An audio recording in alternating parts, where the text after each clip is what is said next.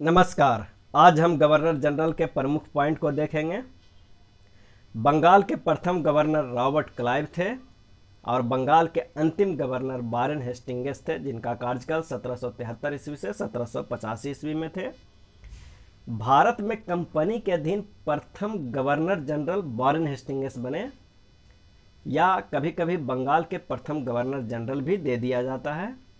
Regulating act सत्रह सौ तिहत्तर के पारित होने के बाद बंगाल के गवर्नर पद का नाम बदलकर बंगाल के गवर्नर जनरल रख दिया गया।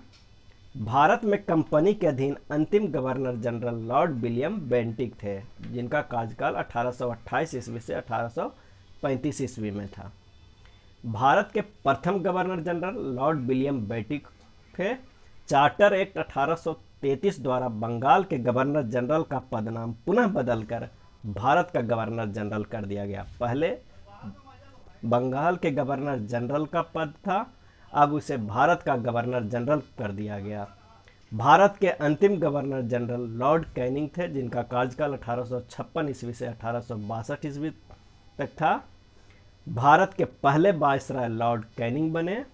भारत सरकार अधिनियम अठारह पारित हुआ।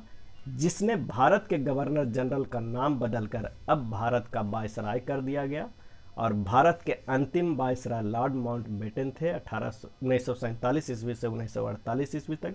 भारत स्वतंत्र हुआ इन्हीं के शासनकाल में।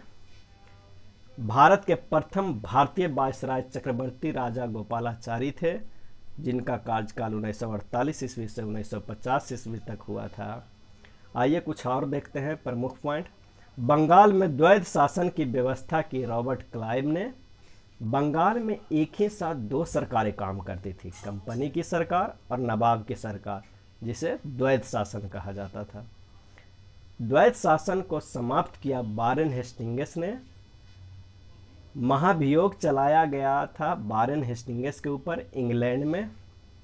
सत्रह सौ तिरानवे में बंगाल का अस्थाई बंदोबस्त लागू किया गया लॉर्ड कॉर्नवालिस के समय, जिनका कार्यकाल था 1786 से सत्रह सौ तिरानवे ईस्वी में। भारत में नागरिक सेवा का जनक भी लॉर्ड कॉर्नवालिस को कहा जाता है। अस्थाई बंदोबस्त का योजना जॉन सोर ने बनाई थी। दो और यो बंदोबस्त है। 1820 ईस्वी में रैयत बाड़ी टॉमस मुनरो ने किया था और 1822 ईस्वी में महाल बाड़ी हॉल्ट माइकेंजी ने शुरू किया था। सहायक संधि प्रणाली शुरू किया गया था सत्रह ईस्वी में लॉर्ड बिलेजली के समय। सबसे पहले हैदराबाद के निज़ाम से सहायक संधि शुरू किया गया था।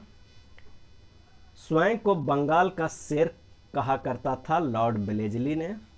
भारत में सहायक संधि प्रणाली का प्रयोग ब्लेजली से पूर्व फ्रांसिस गवर्नर डुप्ले ने किया था।